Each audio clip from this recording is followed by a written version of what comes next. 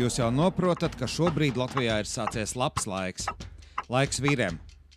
Šīs dienas raidījumā būs skati ar ēnām. Stāstos no Afganistānas ASV helikopteru piloti padalīsies ar iespaidiem par sadarbību ar latviešu karavīriem. Būs arī jauna tradīcija sauszemes spēkos - vienību skrējiens. Turpināsim ieskatu zemesardzes rotas apmācībā dežūrai Eiropas Savienības kaujas grupā. Būsim pirmā kainieku bataljona apmācības posmā, kā būs šaušana. Un redzēsim štābu bataljonu karavīru Ziemassvētku kauju epizodes rekonstrukciju.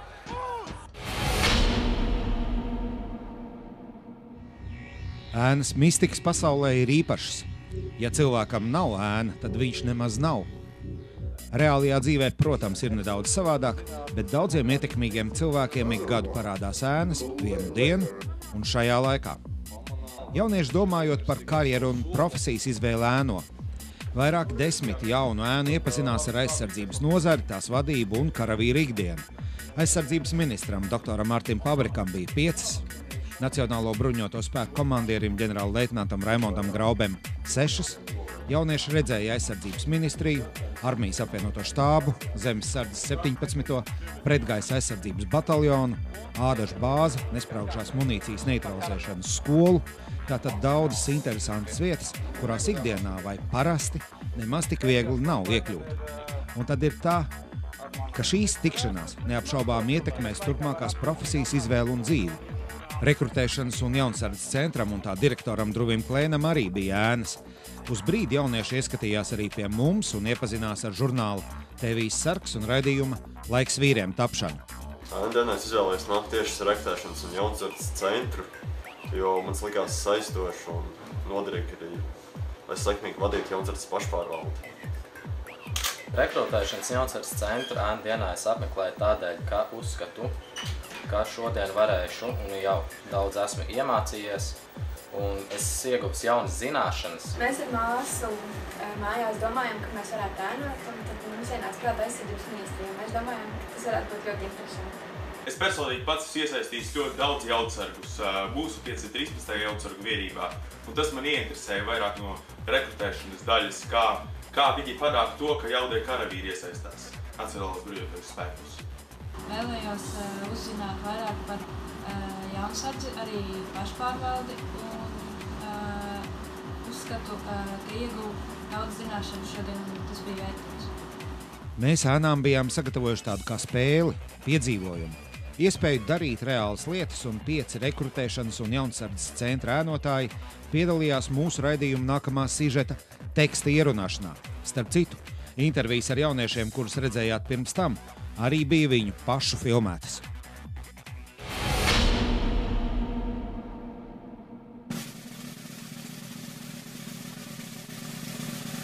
Vai jūs to zināt?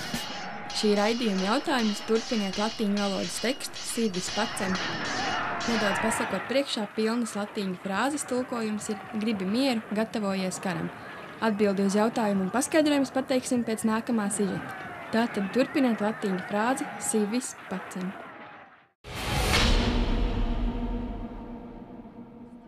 Mūsu karavīri iepriekšējās vienības dienesta laikā Afganistānā pagājušajā vasarā satikām seržantu Modri Circeni. Toreiz Norvēģi komandieris visa kopīgā Mēmanas bāzes kontingenta priekšā viņu apbalvoja ar savu personīgo piemiņas medaļu.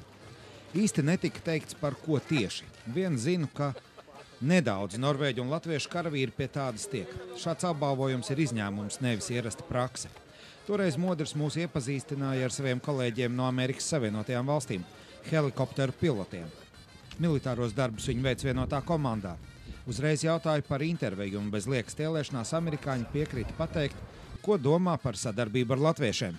So we've had uh, a great opportunity to, to integrate with both the Norwegians and Latvians um, here in this area of operations.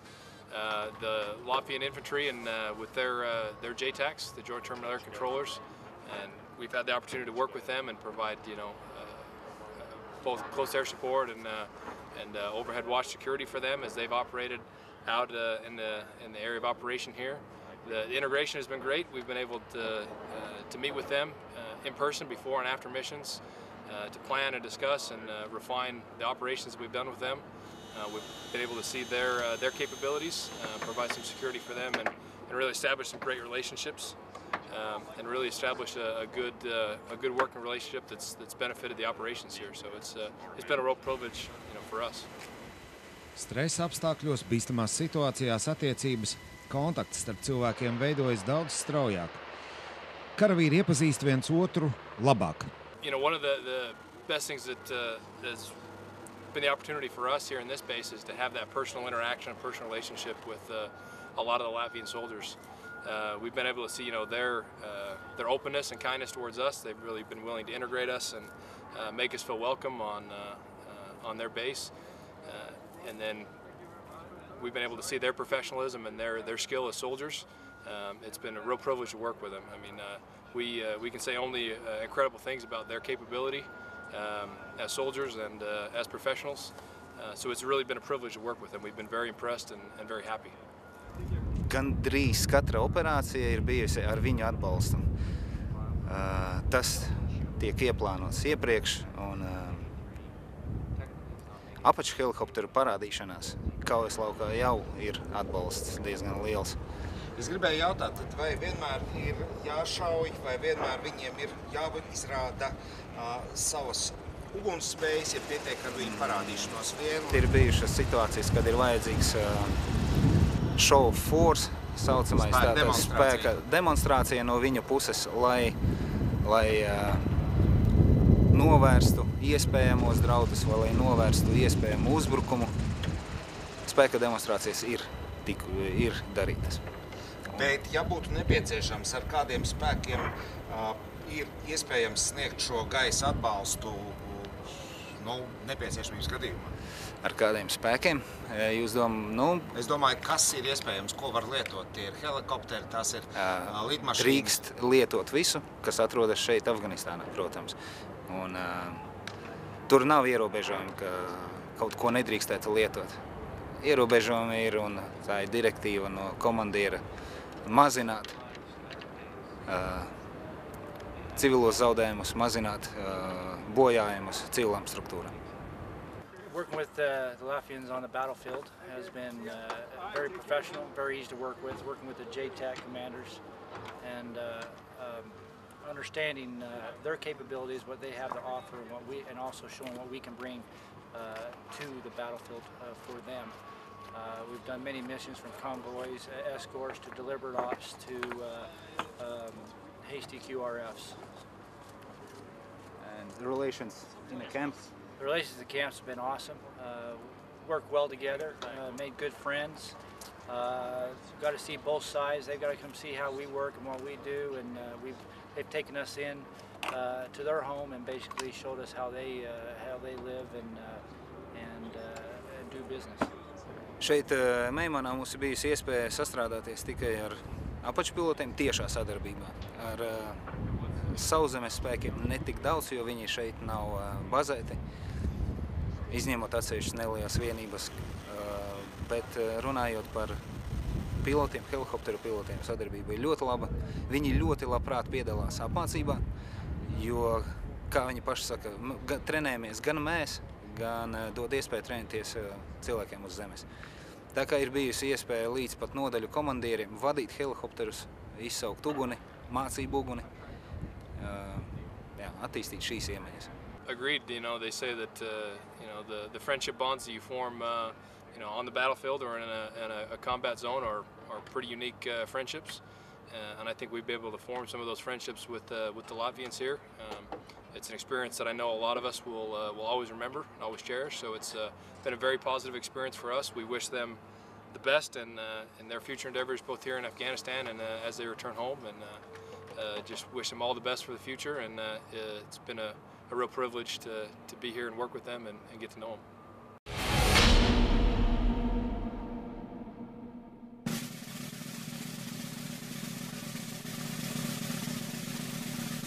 Pirms iepriekšējā sižeta jautājuma, kā skan latīņu frāzes turpinājums Civis pacem parabellum. Gribi mieru, gatavojies karam. Šīs frāzes autorija piedēvē uzreiz diviem romiešiem. Pirms mūsu ēras, tātad pirms Kristus dzimšanas, Kornelijam Nepatam. un jau mūsu ēras 4. gadsimtā dzīvojušiem Flāvijam Vegēcijam, kurš šo frāzi izvērš. Kurš grib mieru, lai gatavojas karam? Kurš grib uzvaru, lai cītīgi apmāca karavīrus? Kurš grib panākt labvēlīgu rezultātu, lai karo balstoties uz mākslu un zināšanām, nevis gadījumu? Neviens neuzdrošināsies izaicināt un apvainot to, par kuru zina, ka cīņā tas izrādīsies spēcīgāks. Parabellum tā sauc 1900. gadā austrieša Georga Lugera izstrādāto pistoli. Gadu gaitā tā piedzīvojusi vairākas modifikācijas, bet dažādu valstu armijās tā bija kā oficiālais ierocis līdz pagājušā gadsimta 50. gadiem. Parabellums bija bruņojumā 35 valstīs. Trešā reiha laikā pistoli lietoja dažādi speciālie dienesti. Tā bija populārs trofeja ierocis padomju karavīriem, pat pēc otrā pasaules kara. Pistoles izgatavošana ir dārga un darbietilpīga. Šobrīd sērija veidā to vairs neražo. Slaveno latīņu frāzi Sivis pacem parabellum jokojot mēdz pārfrāzēt. Gribi mieru, gatavo karu, vai arī gribi mieru, gatavo parabellumu. Pistole ir precīza. To sekmē slīps rokturis, ko mēs dēvēt arī par anatomisku. Pistoli pielādē ar 8, 9x19 patronām, ko sauc gan par Lūgeru, gan par Abellumu, gan NATO 9x19 patronām. Visi varianti ir pareizi un patronas ir identiskas. Parabellu un pistoli tās cienītāji lieto arī šobrīd. Savas precizitātes dēļ tā ir populāra sportistu rindās.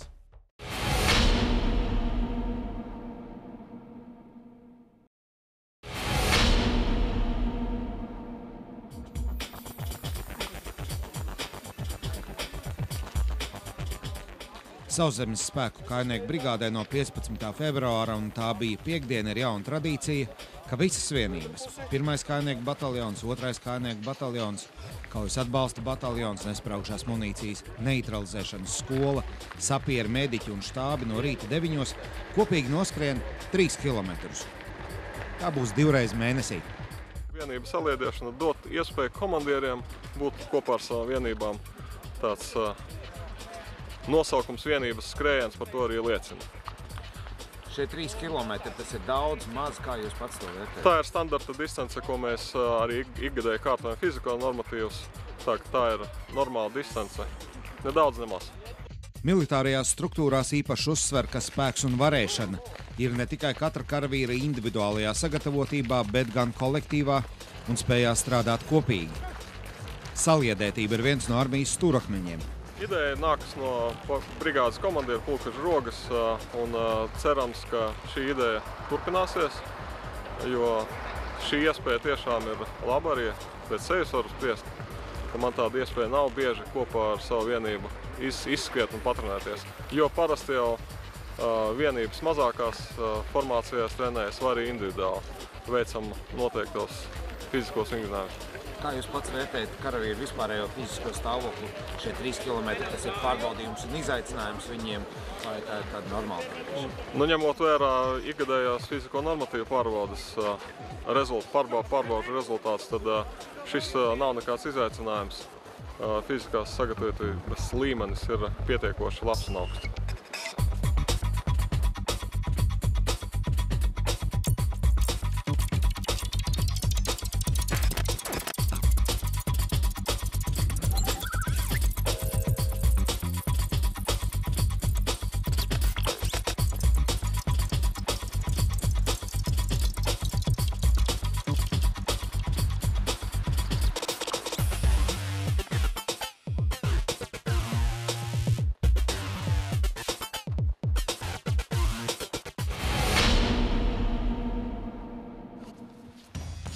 Šajā nodarbībā esam kopā ar mūsu karavīriem, kas pagājušā gada nogalē atgriezās no Afganistānas.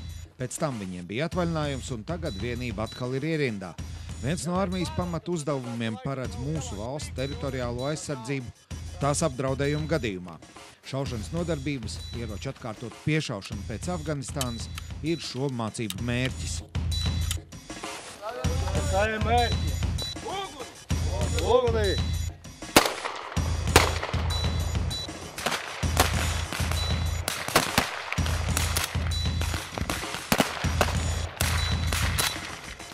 bija piešauti siltā laikā, tagad ir jāpāršauj pa jaunu augstā laikā. tāpēc, ka tā temperatūra ir un uh, šaušanas attālums at, atšķirās no iepriekšējā. Tad uz kādu attālumu jums agrāk bija piešauts? Uh, Siltā laikā. Tad loda lido augstāk un tālāk. Tas pats attālums tikai jāparegulē ir uh, aimpoint mērķi. Nu, aimpoint. Karavīri šaujas 100 metru distancē, kā mērķis ir A4 lapa. Trāpījumi jāsavāc vienotā kūlī, tas arī ir uzdevums, jo pozitīvais rezultāts nozīmē, ka tēmēšanas sistēma, pats šāvējs un trieciena šautena G36 ir vienots veselums. Mums ir eh, locītavas, ir apaļās locītavas, kas ir, kā mēs zinām, arī ģeometrija apaļas figūra, viņa viegli ripo.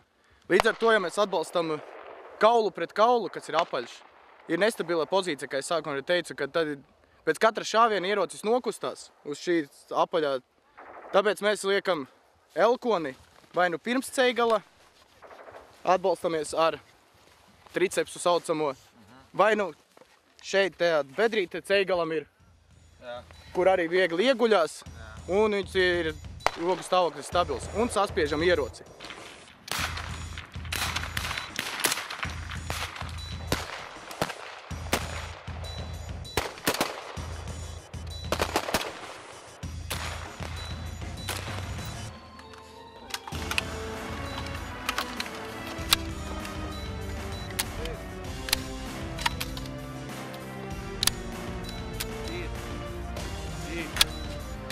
Būtībā ļoti labs ierocis, viegls, īs, uh, aptver caurspīdīgi, kur var redzēt, cik patrons palikušas.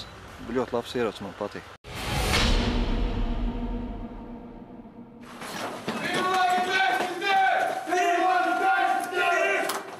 Šī gada otrajā pusē 89 Latvijas karavīri, tātad kainieku rota. Vadības grupa, nespraukšās munīcijas neutralizētāji un mediķi iesaistīsies Lielbritānijas vadītā Eiropas Savienības kaujas grupā.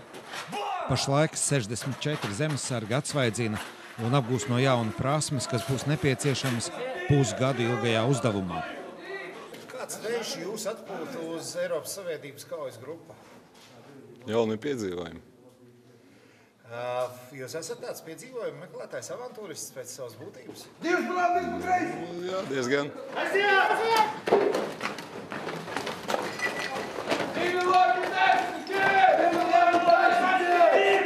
Viss sākās, protams, bērnībā Jaunzārdzē. Pēc tam līdz ar 18 gadiem iestājos zemesardzē.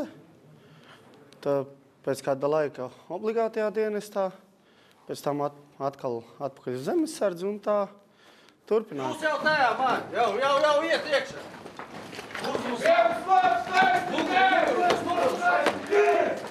2001. gadā aizbraucu uz Savienotajām valstīm, uz Nacionālās gardas mācībām, uz divām nedēļām. Tur bija un pēc tam pārindas zemesardze. Šeit pa Latviju nu jau 12 gadu pieredze.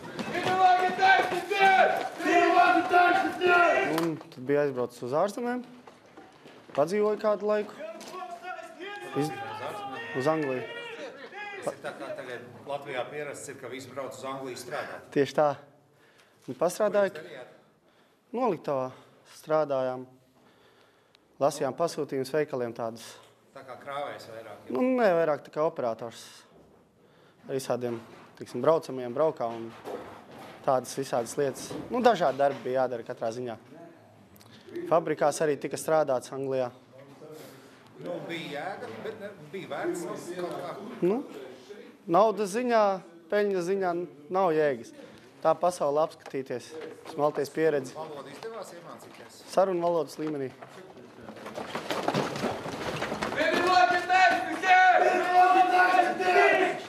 Civilais darbs vairāk uh, un meža strādājumi. Jūs esat strādnieks, jeb tā kā darba Nu, devējs. es kas- vairāk, vairāk kā darba devējs. Tā tad jums ir meži, jūs esat kaut, ko, nu, kaut kāds tāds lietas? Nē, nu, es eh, 2004. aizbraucu uz Zviedriju, meža strādāju strādāt. No sākuma pirmo gadu bija kā parasts strādnieks, pēc tam es Zviedrijā nostrādāju vēl četri gadi kā darba vadītājs. Un, kad e, ieguvu vairāk zināšanu, atgriezos atpakaļ uz Latviju un sāku strādāt jau kā darba devējs šeit pa Latviju. Un slēdzot vienkārši līgumus teiksim, ar eh, tām pat Zviedru uzņēmumiem, viņiem tur izkopt mežus, iestādīt, nozāgiet un tādu. Latvijas valsts mežiem sadarbībā. kolektīvs teiksim, ļoti labs. Salīdzinoši, teiksim, pat ja salīdzina ar obligāto dienestu, tur tika iesaukt cilvēki, kam varbūt ne īpaši gribējās. Šeit pārsvarā cilvēki, kas to vēlās darīt. Tāpēc arī kolektīva attieksme vienam pret otru ir savādāka.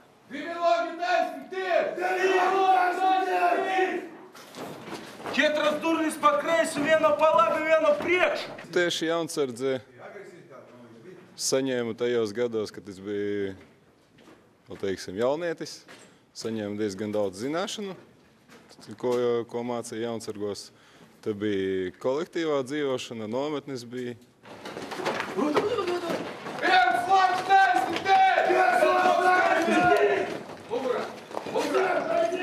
Es gribēju šeit tikt. Es vēlēšanās biju atgriežoties no Anglijas, Latvijā turpināt savu dzīvi, mēģināt kaut kur militārajā dienestā. Un tad bija šī iespēja uz šejieni, sākam, kā saka, pārbaudīt kaut vai sevi. Tādēļ arī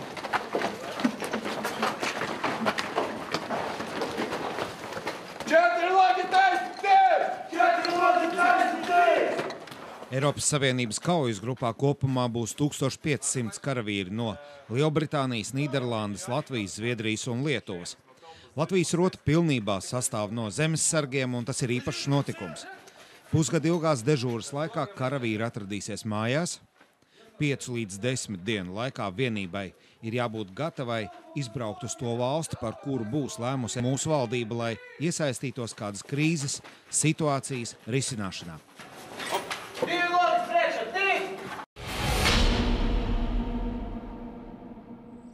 Šogad daudzas militārās vienības atzīmēs savu 21. gada dienu.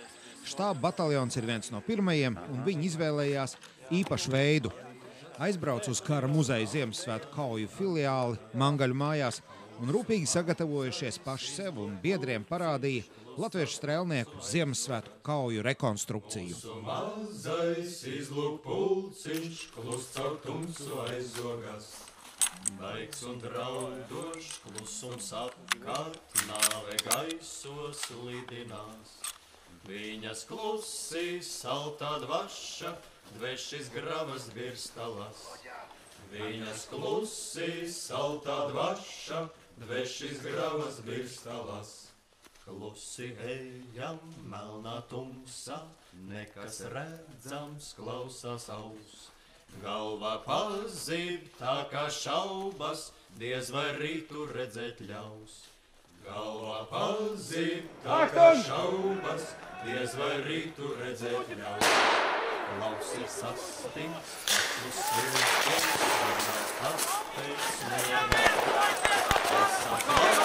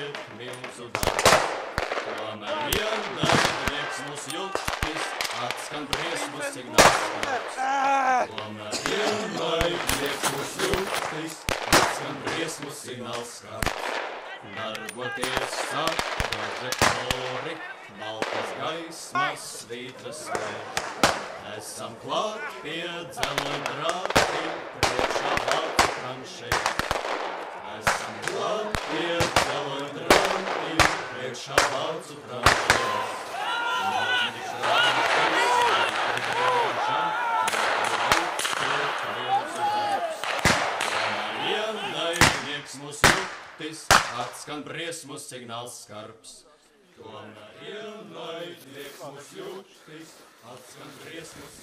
Nu, kāds bija iespējas par kauju? Labs. Nav tas, kas mūsdienās ar triecienu šauteniem šaus. Rokas nosalst. Labi nosalst. Grūti ielikt patrons, patrons telpā. Bet vispār nežēlīgi, jo vajag grūti skriet. Šineliņš. Šinels plus vēl ierocis, jā, visu laiku. Jāskatās, jāpārvalk, jālādē atkal. Nosalušām rokām, tā kā uzskrējām uz valņu. Vajag grūti bija ielādēt patrons. augsts bija. Tad visā viņiem bija vēl augstāk. Sapunos viņiem. Vāci ilgi vēl šau tumsa, mēs sen savās tranšējās. Vāci ilgi vēl šau tumsa, mēs sen savās tranšējās.